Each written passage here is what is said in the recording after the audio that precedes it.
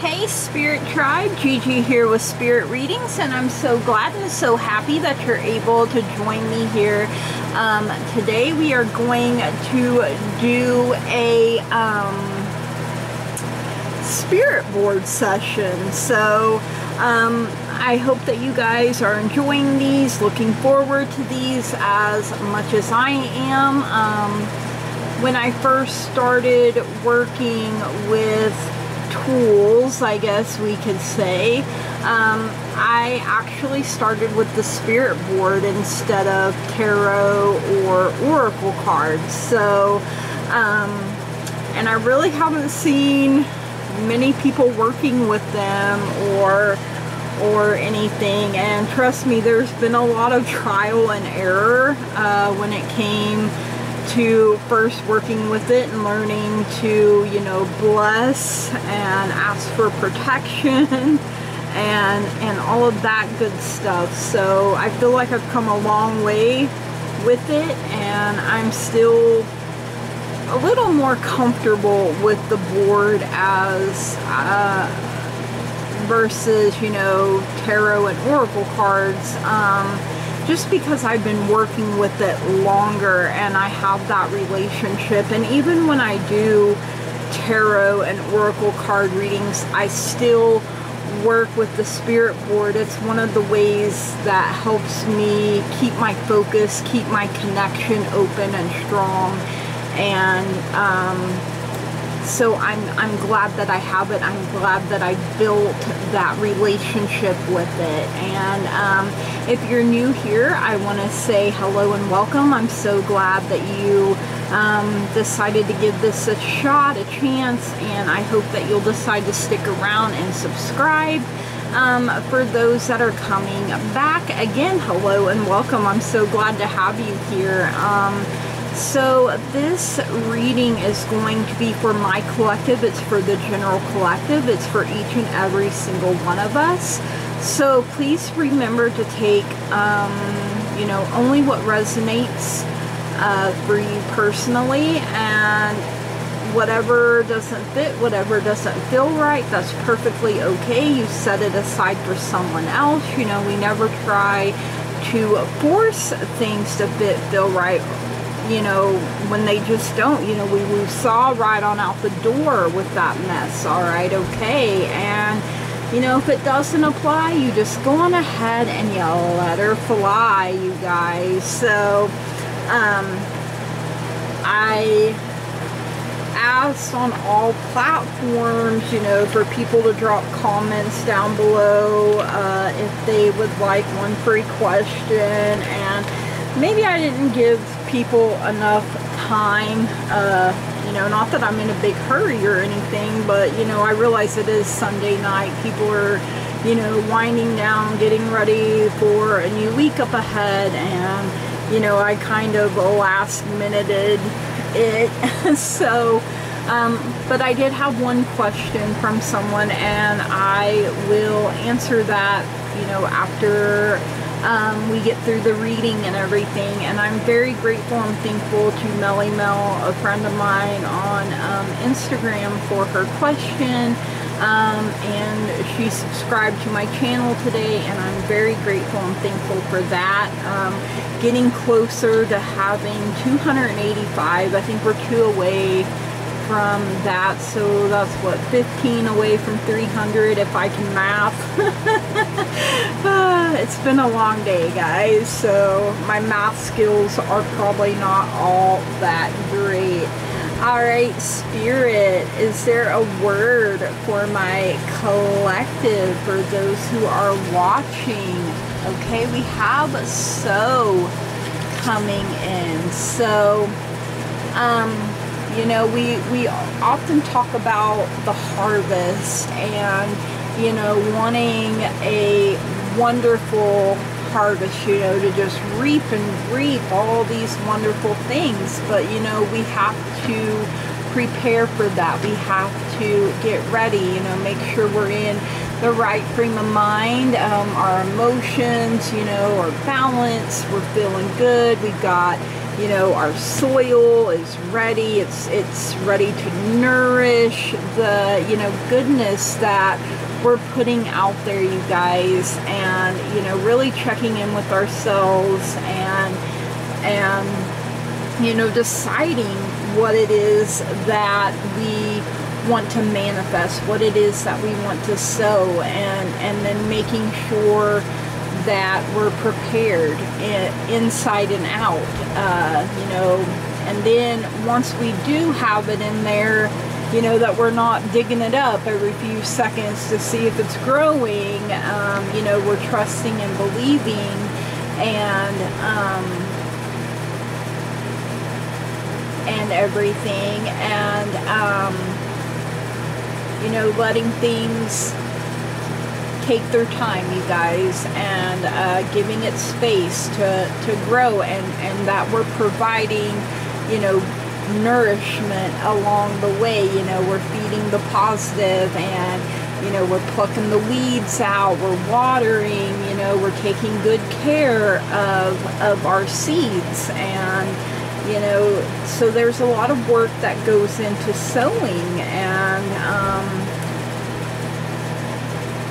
be patient is is something that I'm hearing here from spirit. You know, the the bigger something is, the longer it's it can take sometimes, and it requires a lot of work and a lot of patience on our part. So be mindful is uh, something that I'm hearing here as well. Yes, thank you, Spirit. All right, what do we have coming in next? All right, we have West coming in. And West represents the element of water, you guys, which is the power of our emotions. So, you know, everything needs water. You know, we can only go so long without without drinking some water, having some water. And, you know, it also represents our ability to connect in powerful ways with our own feelings, you guys. You know, really uh, checking in with ourselves. And um, if you want to find West energy, you know, the element of water, you can look for it in oceans, lakes, rivers, and streams um, to heal your emotions you need to express your feelings openly and honestly and be as active in giving comfort to others as you yourself wish to be comforted. You know, it, it's give and take, ebb and flow, you know, is what I'm hearing here. So, what you want to see, you must first, you know, put out there, you guys. So I hope that that makes sense. All right, what do we have next? Okay, it looks like we have tourmaline, the gemstone tourmaline coming in, and it's all about tolerance here, you guys. Um, tourmaline is thought to bring out the sort of emotional serenity that can help its wearer distinguish between material and spiritual success. Um, it's believed to have great power in helping to make wise and useful career choices. Used in meditation practices and rituals, it is said to enhance feelings of gratitude and respect a protective stone, I wear a black tourmaline that my nephew Caden got for me. Um, it can act, you know, as a shield against unwholesome or otherwise negative influences. The stone is used to dispel sadness and grief and also to encourage patience and openness as well as an appreciation for all the good things that life has to offer. It can be used in attraction rituals to invite money through success in business. Folklore suggests that tourmaline creates balance in physical energy by banishing anxiety and foggy thinking. Wearing tourmaline increases flexibility, objectivity, and compassion. Uh, New Age healers use the stone as a tool for cleansing a person's aura. The colored energy field possessed by all beings that can be seen and interpreted by trained eyes. So, um, you know, when tolerance and understanding are called for, much can be accomplished through periods of meditation and silence. Appreciate the many wonders of life. And I also have a piece of black tourmaline that I keep close by. So, um, really love tourmaline. All right, that was an awesome message. And again, you know, it feels like this is dealing with our emotions right now, it would appear. So, all right, Spirit. Believe that is lavender. Okay, not a color I get very often. So, lavender is the color of spiritual healing dispelling sadness, loneliness, and mental confusion. So it's helpful in opening the third eye and clearing away karmic debris from past lifetimes. On the material level, it is known as a shade of refinement and delicacy. Like pink, it is associated with femininity it can also reflect romance, sentimentality, or old age, especially in women. Like the plant for which it is named, this gentle shade is helpful in treating bronchial and digestive disorders. It is a good color for use on a ceremonial altar or in a room where meditation or rituals are practiced. So you know, again, um, emotions, you know, healing you guys. So, wow, beautiful, wonderful, amazing energy there. All right, let's see. We have Cancer, and we are currently uh, in Cancer season still.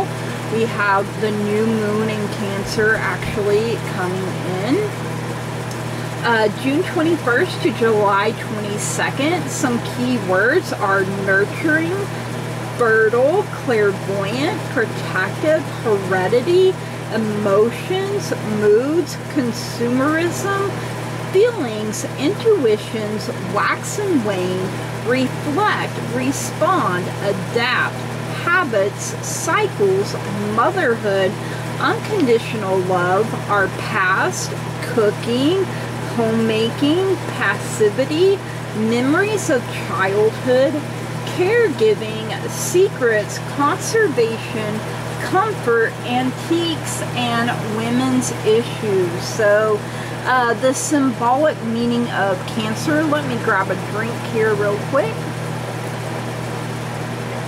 Gotta wet my whistle. So, um, those born under the astrological sign Cancer are well known for their ability to nurture others. They are especially sensitive to the ways people communicate their feelings and can be easily affected by the thoughts and feelings of those they care about.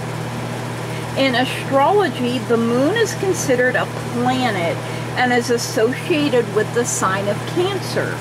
The moon's ever-changing shape and its effect on the constantly shifting ocean tides are like our ever-changing moods. The symbol for Cancer is the crab. Feeling insecure makes them want to withdraw into their own version of a crab's protective shell. The reason Cancerians are sometimes not as secure and nurturing as they wish they were is because people do not arrive in the world already an expert in the things their sun sign is known for. Um, they have come into this world with the challenge of the astrological sign Cancer because they want to learn how to be secure, sensitive, and nurturing.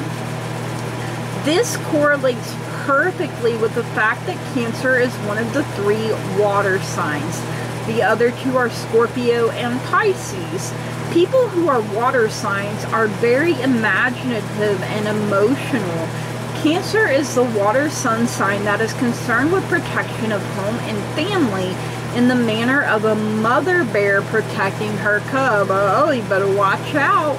Cancers can be oversensitive, especially when they've given so much that they feel drained. So, you know, it's important to keep pouring back into yourself, to take that time to rest, restore, replenish, rejuvenate, refresh yourself, you guys. Um, so, I actually have Venus in Cancer, and one of my nodes is in Cancer. I think it's the South Node. Um, not 100% sure there. but alright, let's see what we have next. No surprise there. I was I was already feeling like hearing weeping willow. So willow is also for healing. Uh, not the first time that has come up. The willow embodies the true meaning of the enchanted life and its ability to create a sense of healing energy. It has feminine or moon energy and affects the workings of the subconscious mind. Its vibrational energy is associated with love, healing, inspiration, and eloquence. It signifies knowledge that comes through dreams, philosophical discourse, and the meditative state. The willow represents a time that is ripe for bringing magic into everyday life. Scrying, wish magic, and other enchantments not only are powerful now, but have resonance as daily practices. One who is drawn to the willow is beautiful, slender, and empathic, a capricious but honest dreamer like the willow, we can bend without breaking, renewed and ready to go forward. I absolutely love that, learning to bend without breaking, you guys, and that takes a lot of strength in order to be able to do that. And, you know, we also hear renewed, you guys, and once we're renewed, we're able to move forward, you know, with with fresh, vibrant energy. So yes, beautiful, wonderful, amazing. I absolutely love the tree messages. All right, let's see who would like to be our Enchantress guide. And we have the Enchantress of Wellness coming in here. So, uh, not really a big surprise. So, um, sit quietly for a while, inhaling the healing powers of the wellness enchantress. Remember or imagine how it feels to be healthy, peaceful, and strong. Visualize a positive white light of healing energy around your whole being. Experience it as a truth see yourself as whole and know that you are whole, holy you and holy you, right? Say, Enchantress, I release my discomfort to you and accept your many blessings of love, light, and laughter. Whenever disease or pain arises, repeat the prayer three times while meditating and envisioning health and wholeness radiating through your body, through your mind, and through your spirit. You know, they all work hand in hand, you guys. They all work together. You know, all is well and all will be well. So it's something that I'm also hearing. All right, what do we have next? Okay, we have the number five, it looks like, coming through. So the number five symbolizes adventure, creative energy, passion, and an optimistic point of view. It represents constantly shifting activity as well as non-traditional behavior and unconventional ideas. The number 5 has a certain esoteric quality as well since it signifies the pentagram, a five-sided star often used in rituals and spell making. It also calls to mind the five senses. The number 5 is representative of attachments, sexual uh, uh, I can't even talk I cannot say that word for some reason. Assignations? My brain is just like block.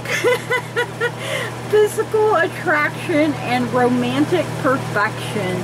It can symbolize a talented artistic individual who may also be self-indulgent, undependable, and morally weak. In contrast, it can suggest genius or a person of many special gifts who channels ideas through him or herself and out to the world. The energy of the number five is spontaneous, undisciplined, changeable, and liberating.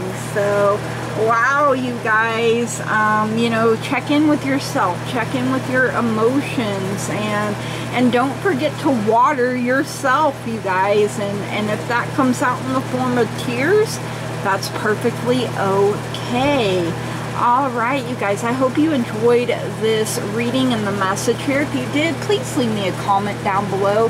Smash the heck out of that like button, that old thumbs up button, you know, give the old razzle dazzle pizzazzle there. Um, if you haven't already, please subscribe. I would love and appreciate that so very much. I love seeing growth. I love seeing expansion and I love being able to interact with you guys on a regular basis. Um, all right, so Melly Mel um, asked for some guidance from Spirit when it comes to her career. So let's see what Spirit um, has for Melly. All right, Spirit, when it comes to Melly's career, what is it that she needs to know or that you want her to know? Thank you for your guidance, your wisdom, and your truth, and for your blessing and protection as well.